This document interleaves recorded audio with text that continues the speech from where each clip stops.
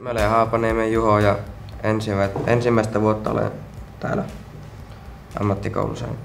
Ja minä olen Kekäläinen Toni ja ensimmäinen vuoden opiskelija Tuo hallityöskentely. Että siellä viihtyy kyllä enemmän. Sitten täällä luokassa kun tehdään jotain. Nämä se on tuo hallityöskentely mullakin. Se on sellainen, että siinä oppii parhaiten ammattia. No, minun mieleisen työ oli tuo kukkapöytä, minkä äskettäin saanut valmiiksi.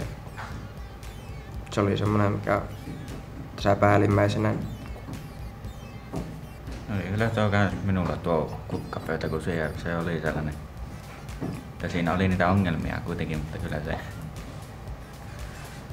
sitten valmiiksi saatiin. No, jos tykkää itse tehdä käsillä, niin kannattaa tulla ehdottomasti tänne.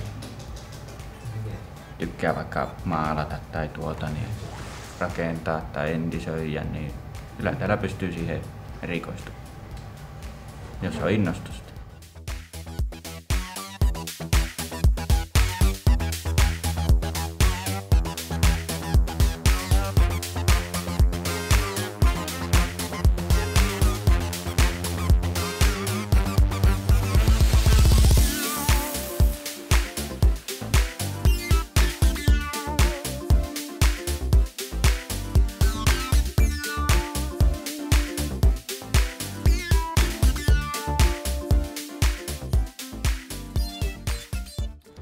Minä olen Jahassani Jussi, toisen vuoden opiskelija.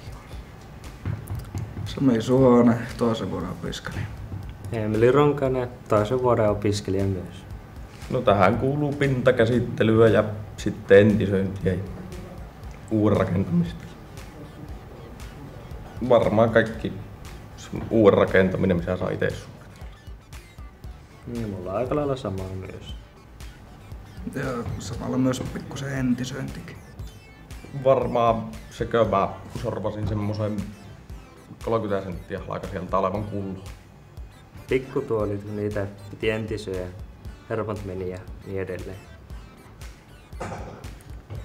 No, periaatteessa kaikki, johon piti liittyä kaikki pienet yksityiskohdat. Mahtavaa. Haastava. Taivas on raja.